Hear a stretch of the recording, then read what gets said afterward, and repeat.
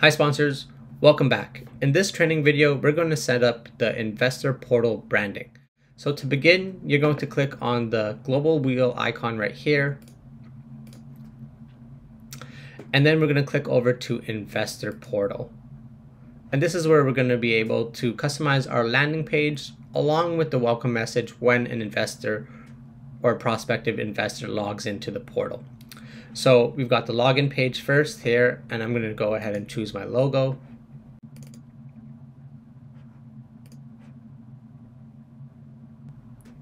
And then I'm going to choose my background image.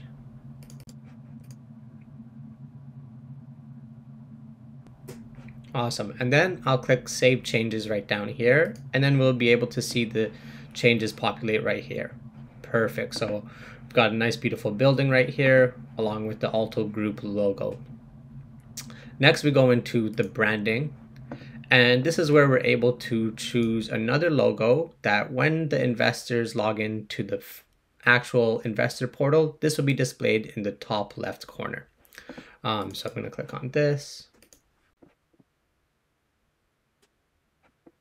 And I will go with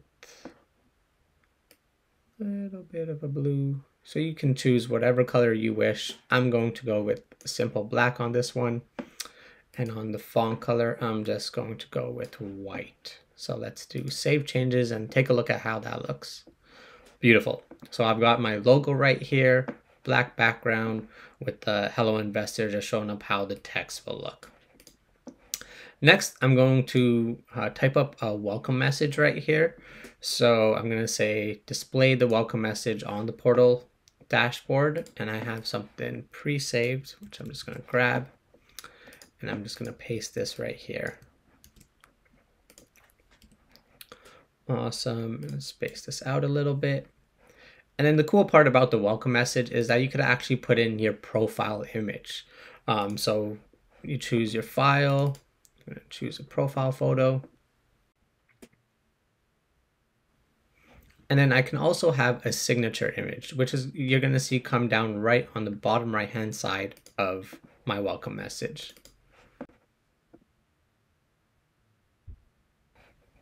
Save changes and bang.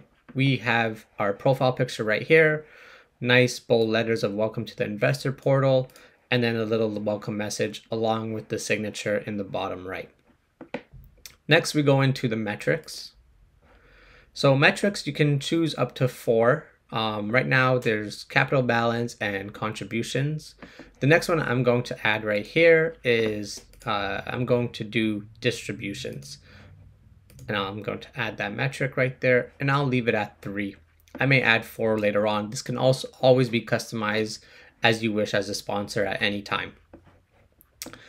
And then access right here, it has quite a few settings. So first, I'm going to want to choose a domain name. So I'm going to do bestnexttraining.investnext.com. And I'm going to save those changes right away. Perfect. And then the first setting here is you'd want to enable your investor portal when you are ready. At the moment, we are still building it out. So I'm going to build out a capital raise and then enable the investor portal. But for the sake of right now, uh, we are going to enable form self-registration. Uh, and self-registration will allow investors when they come onto the landing page to register for the portal. Uh, without self-registration, they would need to be invited by you as a sponsor. And then I'm also going to, let's, you know what, enable the investor portal so we can see exactly what it's going to look like. So let's do that, save changes, and at any time you can disable it. So first, if you were to click preview portal, you're actually going to be able to see exactly what it looks like right here. Here's the welcome message, and there's no other data in here to show anything else at the moment. But what we can do is also show the exact landing page. So let's take a look right here. investnext.com and awesome. So you can see right here, the Alto Group logo is here, the background image is here, and we're able to register. So I can register, put in my first name, last name, and email address. and check off I'm not a robot. If I already have an account, you can go, you I would be able to go right in and log in. One thing I would like to show you here is if I were to disable enable self-registration and click save changes, and I go here and refresh this, you're gonna see that register button disappear. So only someone who's either been invited or has a username and password already will be able to log into the portal. So let's close this out and let's keep enable self-registration on and let's keep that. The other part here that's neat is enable investors to update contact information. This is a very good way to make sure that you have the right up-to-date contact information for all of your investors uh, without you having to go through a back and forth of uh, making sure that you're checking in with them for their contact information and they're relaying it back to you it could be very easy to just let the contact, the investor, update it themselves.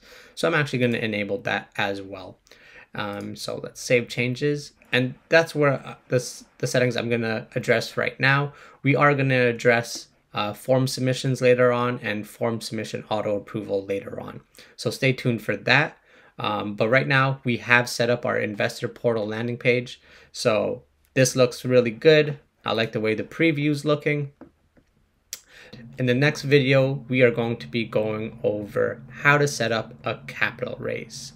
Uh, so stay tuned and see you soon.